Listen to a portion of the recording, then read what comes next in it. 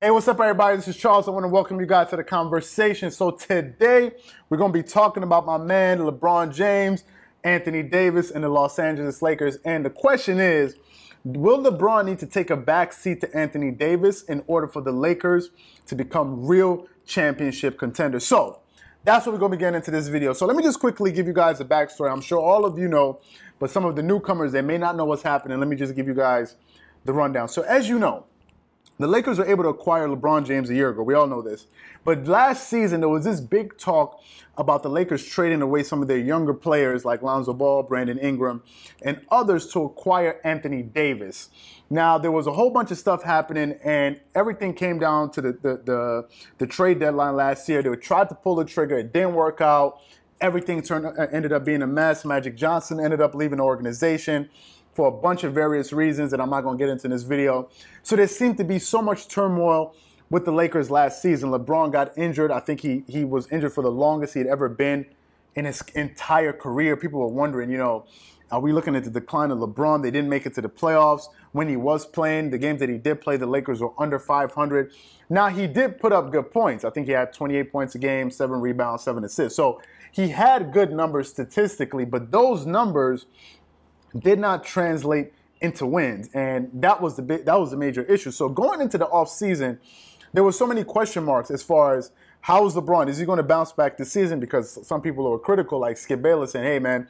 I don't know how he's going to bounce back when he's busy shooting uh, Space Jam 2. I mean, is he there for Hollywood or is he there to actually play basketball? There, there was that narrative going on out there. Then other people were like, no, you know, LeBron, this is going to give him some time to really rehab, rest his body, because he's been putting himself under so much stress over all, you know, all these years, going to the finals eight straight times and all these different things. So it turned out that this season the Lakers were actually able to land Anthony Davis, right? And in a lot of people's minds, Anthony Davis is, you know, probably a top five player in the NBA. Some people have him higher, or lower.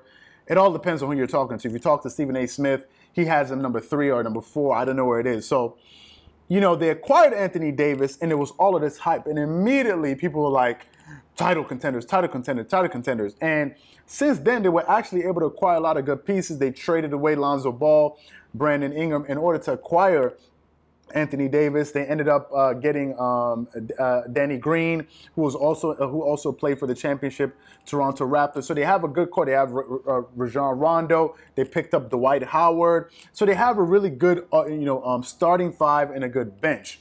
But going into this season, we all have to sort of address the elephant in the room.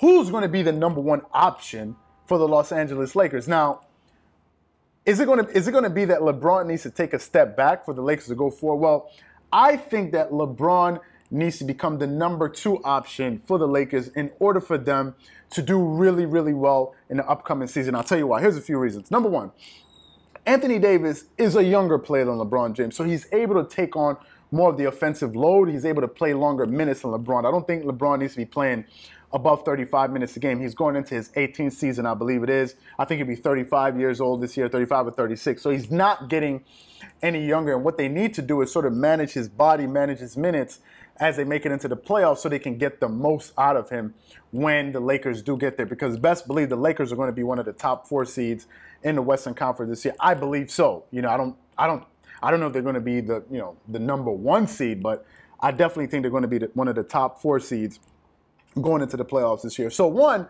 the, the first benefit is LeBron gets to manage his uh, he gets to manage his body.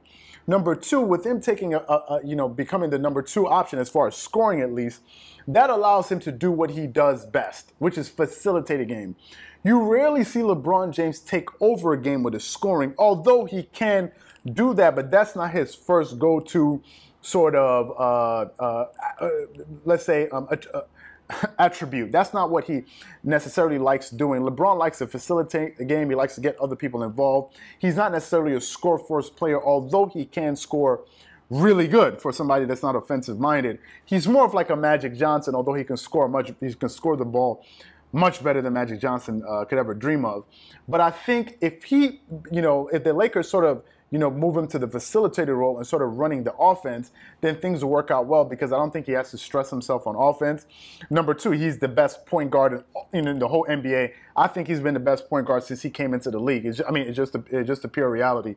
LeBron James is able to see the court in a way that no one else really can at his size to be able to look over defenses. Number two, his basketball IQ is out of the out of this world. He's one of the smartest players in the history of basketball. And for the simple fact that he did not go to college, it's really astonishing to think how he develops, you know, this basketball mind that he has. There's only a few players that come out of that come out of high school that are able to have this to be able to think the game that well. A few that come to mind is, you know, Kevin Garnett, Kobe Bryant, LeBron James, and maybe a few others that I'm not that I'm that I'm uh, missing right now. So I think LeBron taking the back seat to AD will really help the Lakers. Now, Anthony Davis, all he did last year was average 28 points, 12 rebounds, and a couple assists, and probably you know a block or two a game. So he's going to be you know fantastic. And AD came out and said that his main focus this year is to win Defensive Player of the Year. Watching a lot of the news, uh, uh, the press releases coming out of Lakers training camp, is that the team is a lot more defensive uh, minded, especially when you have two anchors in the paint like Anthony Davis and you have Dwight Howard coming off the bench. So you have really good defensive players as well as Rajon Rondo at the point guard uh, spot. You have Avery Bradley who could pick up a lot of point guards and even two guards. So they have a lot of great defensive players that can sort of hide LeBron because let's just face it, LeBron is not, you know, he's not 25 years old anymore. He's not 27, not 28. He's not even 30 you know, he can't play defense at the level that he used to. And I think it's something normal. Most great, I mean, with the exception of people like maybe Michael Jordan, but I mean, how many MJs are there out there like that anyway?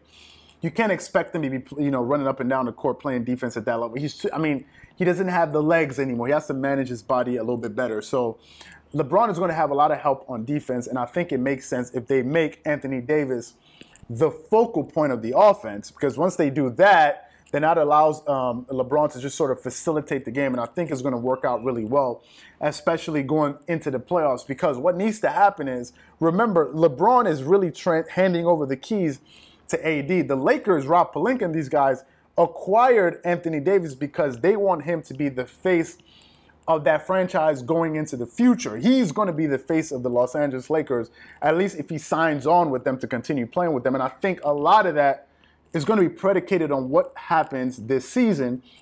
How they do in the regular season? Are they going to make it to the Western Conference Finals or not? We don't know. So I think a lot of things are yet to be seen, but I do think LeBron needs to take a step back in order to allow Anthony Davis to flourish. I think it's going to work well for him and for AD, and I think you know it's going to really help the Lakers get where they want to go. So that's my opinion on, on opinion on the whole matter, and I think that that's what LeBron James needs to do. And I, I believe if he does do so, he's actually going to help make this team real title contenders. So, what I want to know from you guys is do you think that LeBron needs to take a back seat to Anthony Davis, or Anthony Davis is just not there yet? And LeBron needs to actually lead this team this year just so Anthony Davis can pick up some real playoff experience. Because an argument could be made that, you know, Anthony Davis hasn't had, you know, an iota, if we're going to compare the levels of success that LeBron has had versus in the playoffs versus Anthony Davis, you can't even compare the two. So some people watching this video may be saying,